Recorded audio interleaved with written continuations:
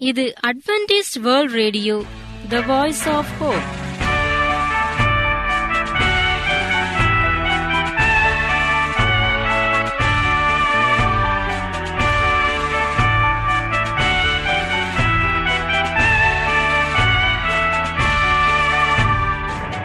வணக்கம் வானொலி நேயர்களே. ஆண்டவராகிய இயேசு கிறிஸ்துவின் இனிய நாமத்தில் உங்களை வாழ்த்தி எங்களது ஒலிபரப்பை கேட்க அன்புடன் வரவேற்கிறோம். வாழ்க்கைக்கு வழிகாட்டும் எங்கள் ஒலிபரப்பில் இன்று இடம்பெறவிருக்கும் நிகழ்ச்சிகள். சிறுவர்களுக்கான கதை ஆன்மீக நலத்திற்கான தேவ செய்தி மற்றும் காதற்கினிய கீதங்கள். இன்றைய நிகழ்ச்சிகள் அனைத்தையும் கேட்டு பயனடைய அன்புடன் அழைக்கிறோம். குட்டீஸ் எல்லாம் கதை கேட்க ஆயத்தமா இருக்கீங்களா? அதுக்கு முன்னாடி ஒரு இனிய பாடல் உங்களுக்காகவே வந்துட்டு இருக்கு.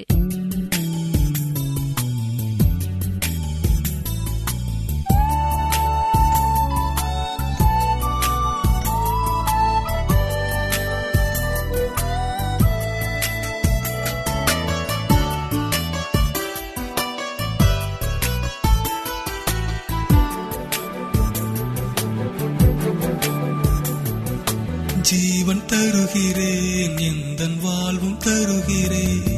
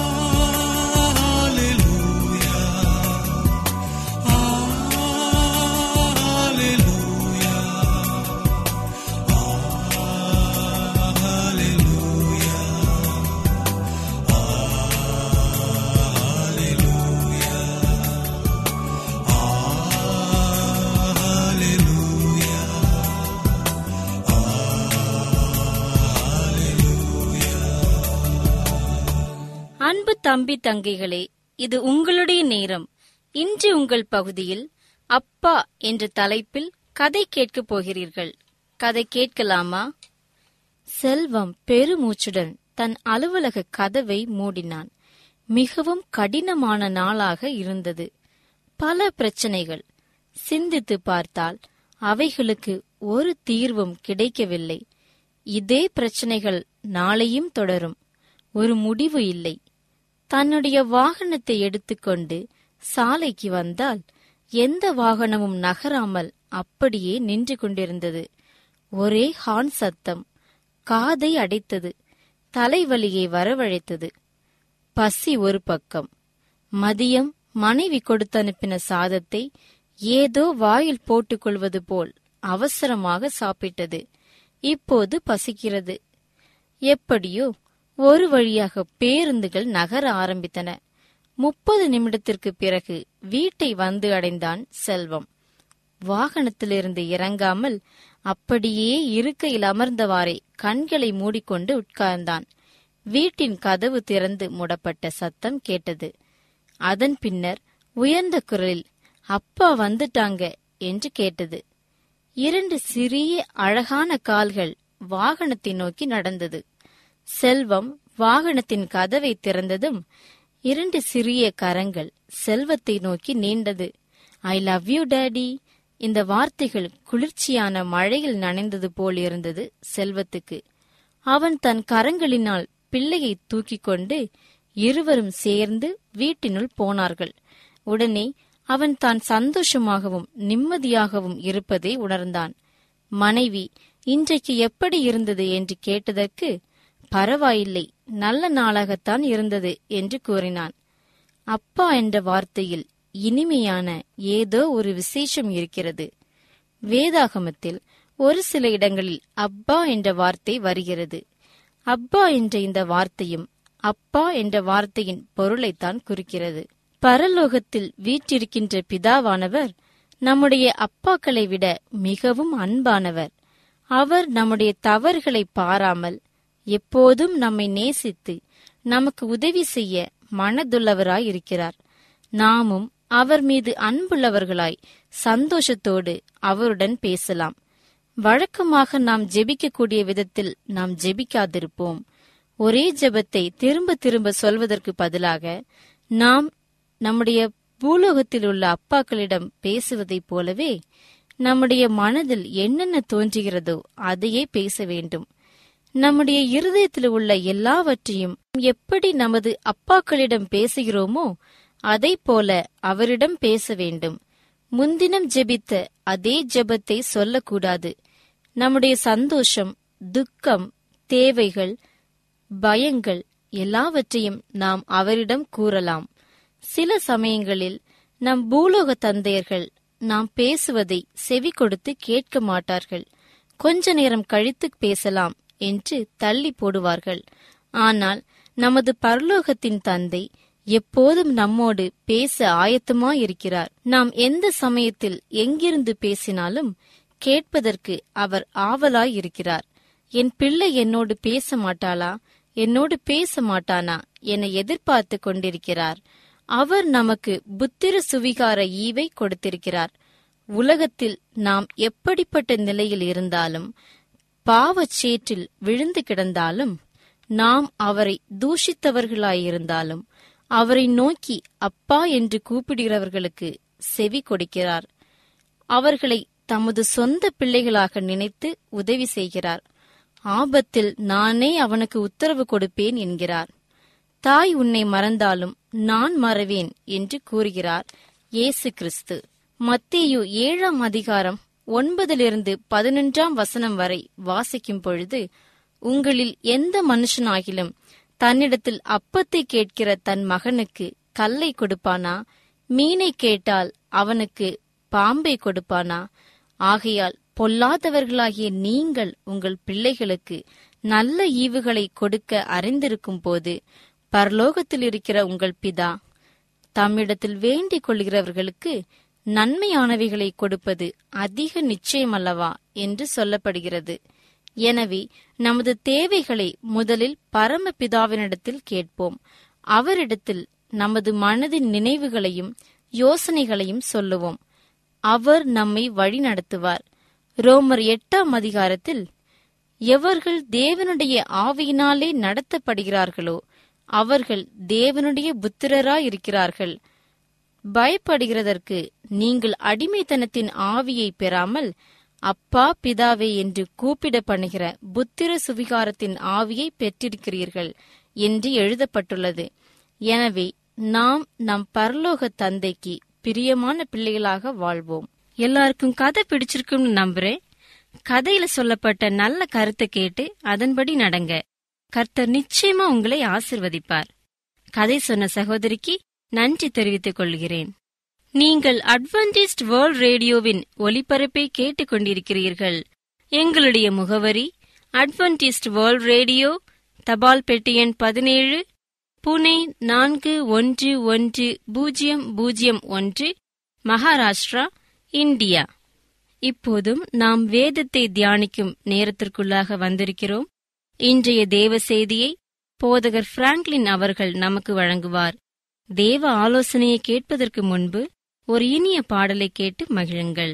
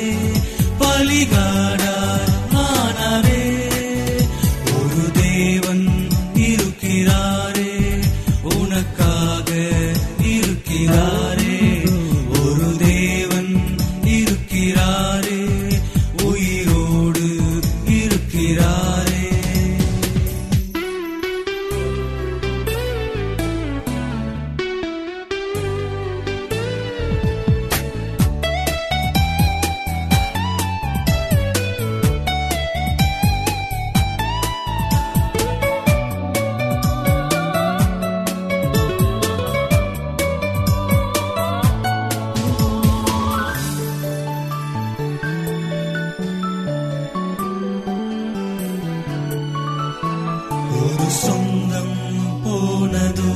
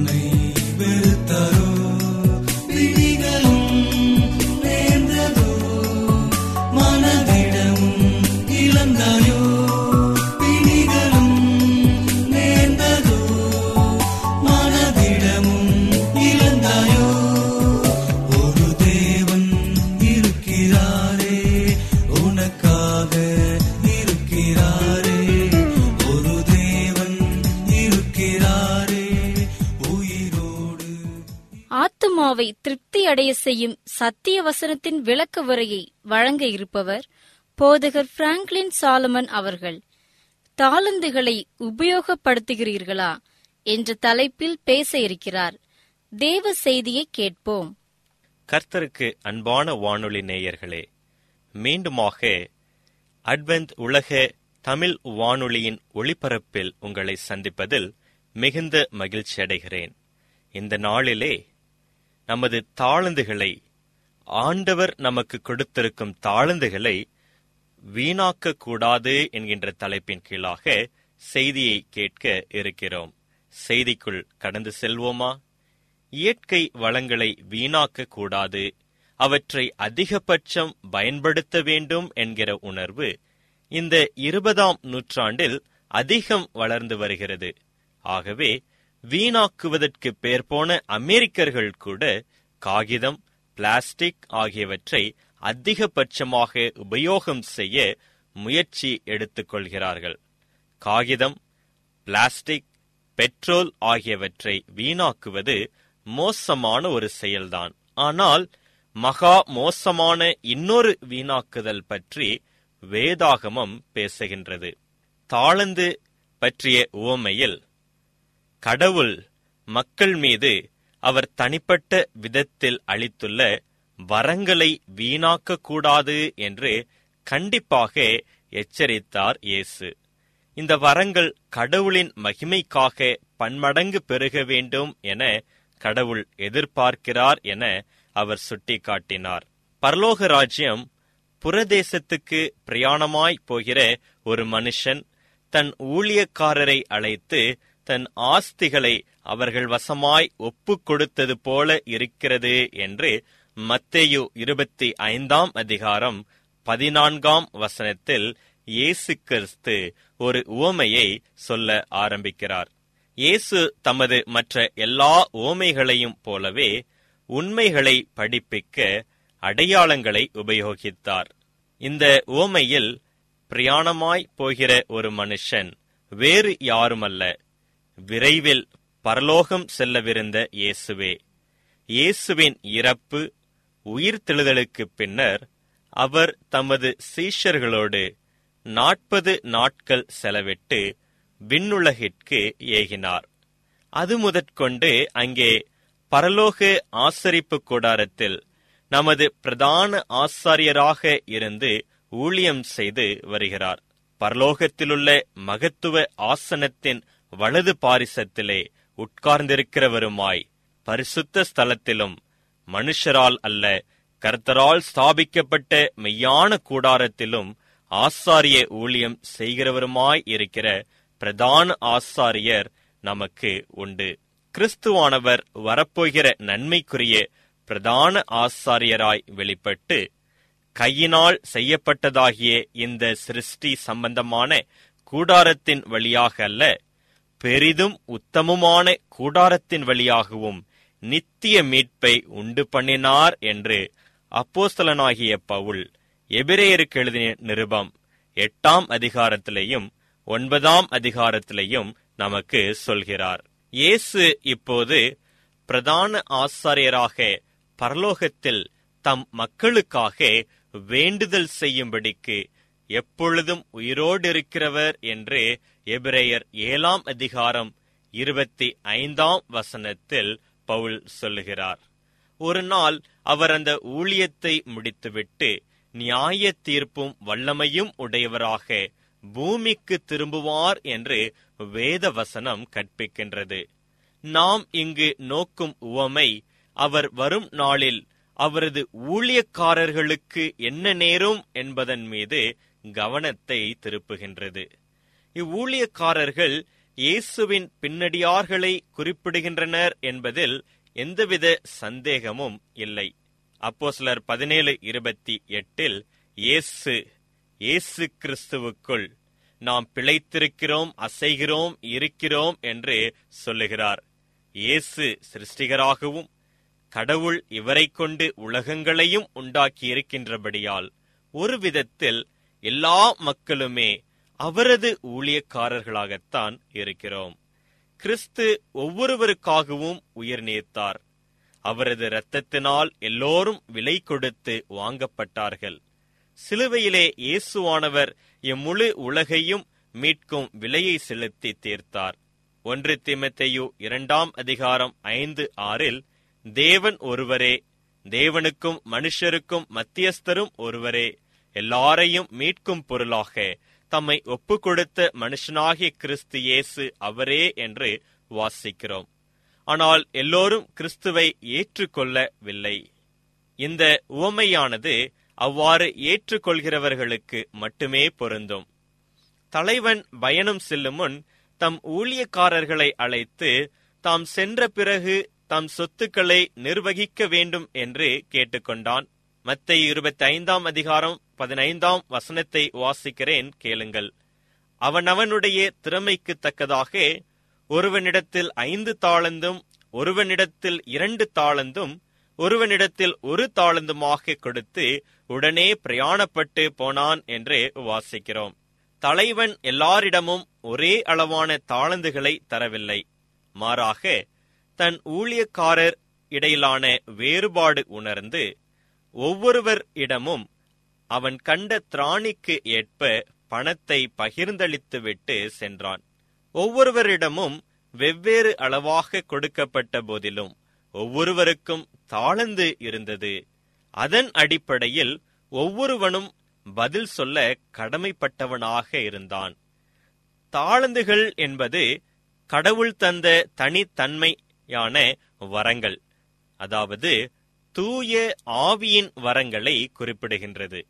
இயேசு தமது தூய ஆவியை அனுப்புவதாகவும் அத்தூய ஆவி உலகிற்கு நற்செய்தியை அறிவிக்கும் பணிக்கு ஆயத்தப்படுத்துவார் என்றும் தம் சபைக்கு வாக்களித்தார். அவர் விண்ணுலகு ஏகும் முன் ஆவி நிறைவாக பொழியவில்லை. அவர் உன்னதத்திற்கு ஏறி சிறைப்பட்டவர்களை சிறையாக்கி மனுஷர்களுக்கு வரங்களை அளித்தார் என்று எபேசியர் நான்காம் அதிகாரம் எட்டாம் வசனத்தில் வாசிக்கிறோம். ஆவியின் வரங்கள் என்று சொன்னால் என்ன? அப்போசனாகிய பவுல் ஒன்று கொரிந்தியருக்கு எழுதிய நிருபம் பனிரெண்டாம் அதிகாரம் எட்டு முதல் பதினோரு வசனங்கள் முடிய வரங்களை குறித்து பட்டியல் இட்டு சொல்லுகிறார். ஒருவனுக்கு ஆவியினாலே ஞானத்தை போதிக்கும் வசனமும் வேறொருவனுக்கு அந்த ஆவியினாலேயே அறிவை உணர்த்தும் வசனமும் வேறொருவனுக்கு அந்த ஆவியினாலேயே விசுவாசமும் வேறொருவனுக்கு அந்த ஆவியினாலேயே குணமாக்கும் வரங்களும் வேறொருவனுக்கு அற்புதங்களை செய்யும் சக்தியும் இவைகளையெல்லாம் அந்த ஒரே ஆவியானவர் நடப்பித்து தமது சித்தத்தின்படியே அவனவனுக்கு பகிர்ந்து கொடுக்கிறார் என்று வாசிக்கிறோம். நேயர்களே கடவுள் தரும் வரங்கள் அனைத்தும் நேரடியாக பரிசுத்த ஆவியிடம் இருந்து வருவது இல்லை. பலர் கிறிஸ்துவின் பின்னடியார்களாக இருந்தாலும் இல்லாவிட்டாலும் தாழ்ந்துகளை பெற்றிருக்கிறார்கள். அவர் ஒரு வரம் பெற்ற எழுத்தாளர் அவள் ஒரு பண்பட்ட நடிகை அவர் ஒரு சிறந்த பேச்சாளர் அல்லது இந்த பெண் ஒரு இனிய பாடகி என்றெல்லாம் அடிக்கடி சொல்கிறோம் அல்லது கேள்விப்படுகிறோம் அல்லவா? வரம் பரிவு வெகுமதி யாவும் கொடுப்பவர் ஒருவர் உண்டென்று உணர்த்தி நிற்கின்றன இவைகள். இவ்வாறு கொடுப்பவர் கடவுளே கடவுளே அன்றி வேறு யாரும் வரங்களை கொடுப்பது இல்லை. கடவுள் அருளும் வரங்கள் எவையாயினும் அவற்றை தனது மகிமைக்காக பயன்படுத்துமாறு மக்களை அவர் வற்புறுத்துவது இல்லை. இவ்வுலகின் மிக திறமை வாய்ந்த நபர்கள் கடவுளுக்காக ஒன்றும் செய்வதில்லை. கிறிஸ்துவை பின்பற்றுவோர் தங்கள் அரிய தாளந்துகளை கடவுளுடைய மகிமைக்காக அர்ப்பணிக்க வேண்டும். இந்த உவமையில் பிற மக்களோ அவர்கள் பெற்ற வரங்களோ முக்கியமல்ல. கிறிஸ்துவை பின்பற்றுகிறவர்களும் கடவுளிடம் இருந்து அவர்கள் பெற்ற வரங்களுமே முக்கியம். அன்பான நேயர்களே ஆண்டவர் உங்கள் ஒவ்வொருவருக்கும் வெவ்வேறு விதமான தாழ்ந்துகளை கொடுத்திருக்கிறார். அந்த தாழ்ந்துகளை ஆண்டவர்தான் கொடுத்திருக்கிறார் என்பதை நாம் முதலாவது உணர்ந்து கொள்ள வேண்டும். தாழ்ந்துகளை கொடுத்த நம் தேவனுக்கு நாம் நன்றியுள்ளவர்களாக அதாவது அவருடைய நாமத்தை மகிமைப்படுத்துகிறவர்களாக நாம் வாழ வேண்டியது மிக முக்கியம். நீங்கள் உங்கள் தாழ்ந்துகளை உபயோகப்படுத்துகிறீர்களா? சற்று சிந்தித்து பாருங்கள். ஜெபிப்போம். இரக்கமும் கிருபையும் உள்ள பரம தகப்பனே. ஆண்டவரே இதோ இந்த வேளையிலே எங்களை உம்முடைய கரத்திலே தாழ்த்தி ஒப்பு கொடுக்கிறோம் அப்பா. நீர் எங்களை கண்ணோக்கி பார்த்தருளோம். வரங்களினாலே நீர் எங்களை நிரப்பியிருப்பதற்காய் உமக்கு நன்றி தகப்பனே. நாங்கள் பலவீனர்களாய் இருந்த பொழுதிலையும் உம்முடைய வரத்தினால் நீர் எங்களை நிரப்பியிருக்கிறீர். அதற்காய் உமக்கு நன்றி. நீர் எங்களுக்கு ஈவாக கொடுத்திருக்கும் வரங்களை. உம்முடைய நாமத்தின் மகிமைக்கென்று நாங்கள் உபயோகப்படுத்தி உம்முடைய வருகையை துரிதப்படுத்துகிறதான பாக்கியத்தை நீர் எங்கள் ஒவ்வொருவருக்கும் கொடுத்தரல வேண்டுமாறு இயேசுவின் மூலம் ஜெபிக்கிறோம். எங்கள் ஜெபம் கிள நல்ல பிதாவே. ஆமேன். தேவ செய்தி ஆசிர்வாதமாய் இருந்திருக்கும் என்று கர்த்தருக்குள் விசுவாசிக்கிறேன். எங்களுடைய இன்றைய ஒளிபரப்பினை கேட்டதினால் நீங்கள் பெற்ற நன்மைகளை அறிய நாங்கள் ஆவலாக இருக்கிறோம். எங்கள் முகவரிக்கு எழுதும்படி உங்களை அன்புடன் கேட்டுக்கொள்கிறோம். எங்களது முகவரி அட்வென்டிஸ்ட் வேர்ல்ட் ரேடியோ தபால் பெட்டி எண் பதினேழு புனே நான்கு ஒன்று ஒன்று பூஜ்ஜியம் பூஜ்ஜியம் ஒன்று மகாராஷ்டிரா இந்தியா. இத்துடன் இன்றைய ஒலிபரப்பு நிறைவு பெறுகிறது. நாளைய தினம் இதே அலைவரிசையில் அரை மணி நேரம் முன்னதாக சந்திப்போம். கர்த்தர் தம்முடைய முகத்தை உங்கள் மேல் பிரசன்னமாக்கி உங்களுக்கு சமாதானம் கட்டளையிட கடவர். உங்களிடம் இருந்து விடைபெறுவது ஜெமிலா பிராங்க்லின்.